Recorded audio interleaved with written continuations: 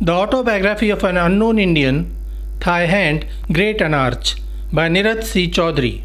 Summary Hello and welcome to the discourse. Nirad C. Chaudhuri was an Indo-Anglian writer who took birth on 23 November 1897 and died on 1 August 1999. Nirad C. Chaudhuri was an Anglophile who liked the discipline followed by the Britishers. He considered them more civilized and had a great admiration for Britishers. He found out many drawbacks on the part of Indians which suppressed them from getting respect in society. His most famous work is The Autobiography of an Unknown Indian, which was published in the year 1951. Thy Hand Great Anarch, India, 1921 to 1952, was a sequel of the autobiography. It was published in 1987. It is an autobiographical work in which Nirad C. Chaudhuri not only talks about his personal life but also discusses the socio-political, economic and religious practices that he observed in India from his birth in 1897 till 1952. The autobiography is divided into four parts with each part having four chapters. The first part describes three places his birth, native place, Kishorganj, and his ancestral village, Banagram, and the village of his mother, Kalikutch. This book is dedicated to the memory of the British Empire in India because it made, shaped, and quickened that was a good life for Indians.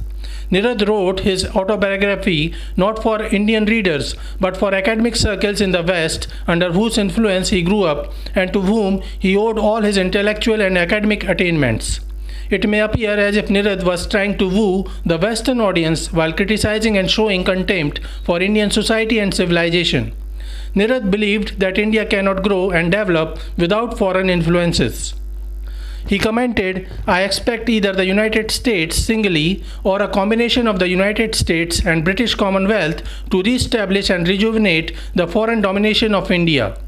Summary of the autobiography of an unknown India. Nirad's father was a successful criminal lawyer and the vice chairman of the Kishorganj municipality of Bengal who made enough money to buy unlimited quantities of books for his children. Thus, Nirad C. Chaudhuri grew up in a literary environment.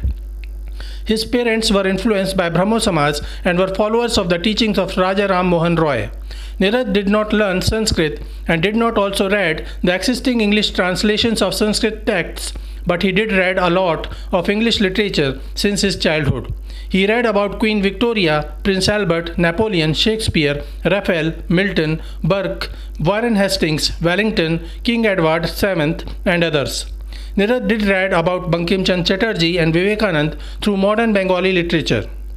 Influence of Bengal, Bengal Renaissance.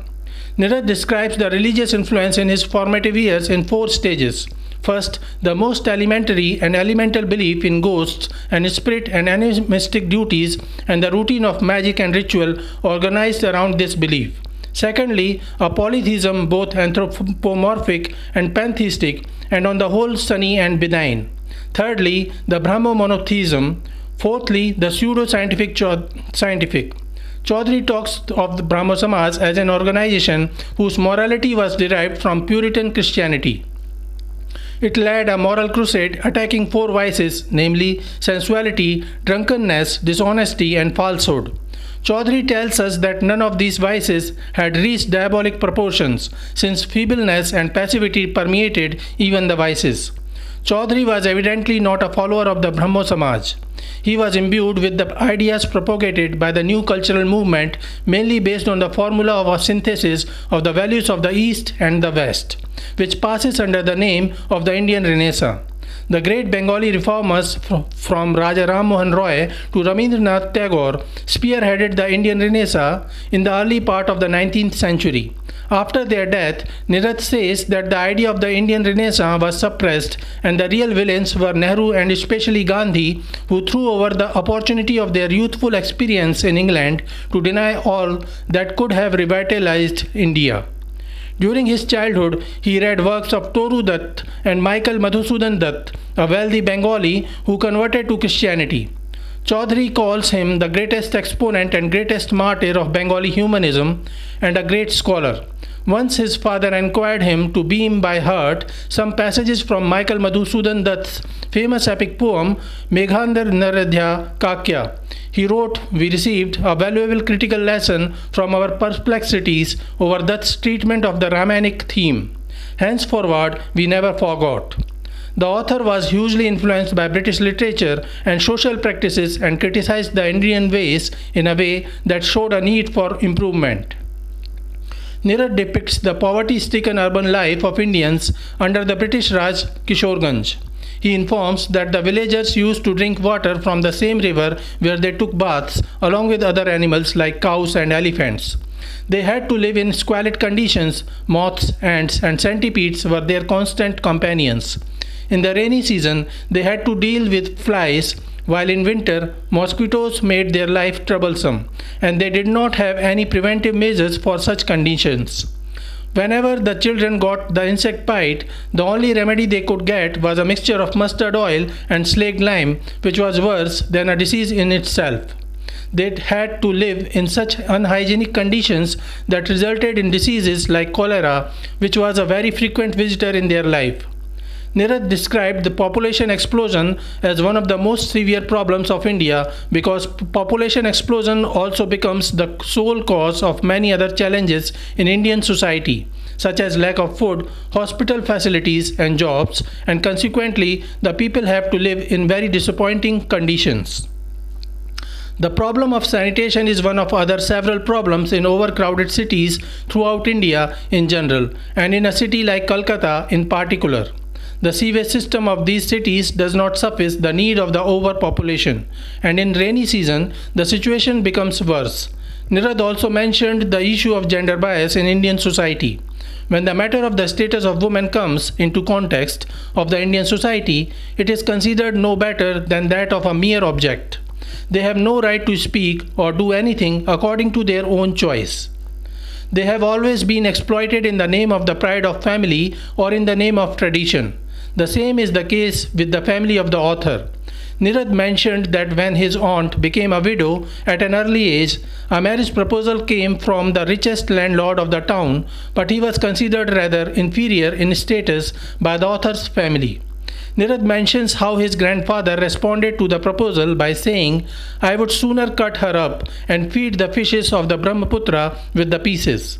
One may think that Nirad was criticizing the caste system. However, Nirad made no critical viewpoint against the caste system in the entire book, and while he mentioned Gandhi, Subhash Chandra Bose, Sharat Chandra Bose, Nehru, and others in his autobiography, he curiously left out Dr. B.R. Ambedkar and didn't mention him throughout the book.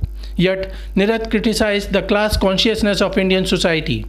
Class consciousness is explicitly revealed by the author when he describes the customs of his family. It is told that the author's family always avoided having meals with those families who were inferior to them in status. Nirad criticizes the superstitious society of India and believed that their superstitions encouraged the British society to discriminate against them.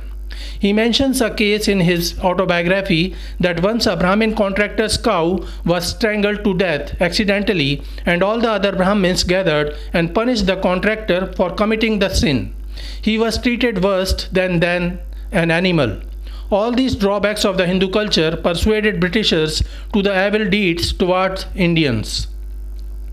Hindu Muslim riots. In his autobiography, Nirad discusses the bloody partition and ensuing Hindu Muslim riots in 1947. He explains that the Britishers were not the sole reason behind this catastrophic conflict, though, as rulers of the country, they profited from this conflict. According to the author, the seed of this conflict was hidden in the past, which was sown long ago in the history when the Muslims invaded this country and vanquished the Hindu kings and afterward ruled for a long time.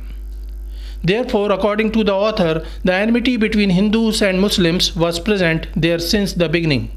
Nirad believed that pan Islamism was the greatest danger facing Indian society, and for this reason, during the Turco Italian War and the two Balkan Wars, when most Indians were pro Turkey, Chaudhuri was anti Turkey. Nirad divides Indian history into three cycles First, the beginnings of the first of the three historical cycles of Indian history cannot be doubted. It came to light with the commencement of the 3rd century BC when historical records properly so called began to reveal the sequence of events in Indian history. Second, the second cycle begins with the defeat of Prithviraj Chauhan by Muhammad Ghori in 1192 AD and comes to a close in 1757, the year of Plassey. Third, the third cycle began towards the middle of the 18th century and is still continuing. About foreign influences on Indian history, Chaudhuri writes, The foreign influences in Indian history are exceptional in their character and are also exceptional in their operation and results. On the subjugation of India by Muslim invaders. Nirad says that Muslim rulers, as long as they remained strong, had no Hindu rebellion to fear. Provided they paid a commensurate reward, they could count on being able to enlist any number of Hindus to act as administrators, army commanders, suppliers, and advisors. Hindus would even advise them of the best means of bringing other Hindus under subjugation.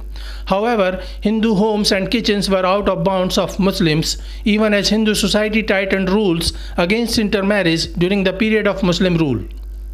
Chaudhuri quotes Sarat Chand Chatterjee, who summed up the underlying principle of Hindu behavior with the example of a woman who has a low caste paramour and who boasts that although she has lived with him for 20 years, she had not, for a single day, allowed him to enter her kitchen. On the decline of Mughal Empire, Chaudhuri refutes the argument that Islam declined in India because of Aurangzeb's intolerance. Other Muslim monarchs were less tolerant of Hinduism. Tolerance or no tolerance, Indian Hindus were never reconciled to Muslim rule. The empire ceased to receive new administrators and soldiers from Iran and Turkestan, and the resident Muslims were too degenerate. In short, the decline of Mughal Empire was not due to uprisings by the Marathas or the Rajputs. Globally, Islam had declined, and this decline took India in its stride. The revolt of the internal proletariat against Muslim rule was only the ass kicking of the sick lion. On Mohandas Karamchand Gandhi, during the civil disobedience movement of 1930, Chaudhuri was a passionate supporter of Gandhian methods. However, in the late 30s, he moved away from what he calls Gandhism ideology. Nirad worked as a private secretary to Sarat Chand Bose, an important Bengali Indian National Congress leader from 1937 to 1942. Sarat Chand Bose was the elder brother of Subhash Chand Bose. Rabindranath Tagore died in 1941 and Subhash Chandra Bose left Indian National Congress and joined the Axis powers as leader of the Indian National Army with the Japanese just east of Bengal and the political leadership of Bengali Hindus eclipsed by Bengal's Muslim majority and the national level by non-Bengalis like Gandhi and Nehru, Nirad felt that he can hardly have any place and decided to leave Bengal. He began working as a freelancer in Delhi and soon accepted a position as a writer of propaganda for the government broadcasting system in Delhi. On decline of British Raj, Nirad liked British culture, but he mentioned British rulers as tyrants, racists, and oppressors. He has compared the teaching attitude of Indians and Britishers and found that Britishers produce only machines and mechanically talented scholars, whereas Indians produce human brains with their own identity. In Thy Hand Great Anarch, which was a sequel to the autobiography of an unknown Indian, and was published in 1987, Nirad claims that the British rule in India did not come to an end on account of Gandhi, that Gandhi had nothing to do with the departure of the British, that the British left out of sheer exhaustion at the hands of Hitler. The British willed their own end when they felt that they could not continue to rule over India in the post war world. He further mentions another flaw of the British government in India that led to the downfall of the British Raj and says that the British ignored the function of cultural proselytization, which was the secret of the success of ancient Roman emperors and modern French colonizers. In the sequel, Nirad criticizes Gandhi as a great anarch and piss poor pathetic for his lament over the independence of India and says, It appeared to me that this his entire ideology was driven by the resolve to abandon civilized life and revert to a primitive existence. The title of the sequel was inspired by the concluding couplet of Alexander Pope's The Dunciad, and thus Nirad portrays Gandhi as a dunce. So, this is it for today. We will continue to discuss the history of Indian English literature. Please stay connected with the discourse. Thanks and regards.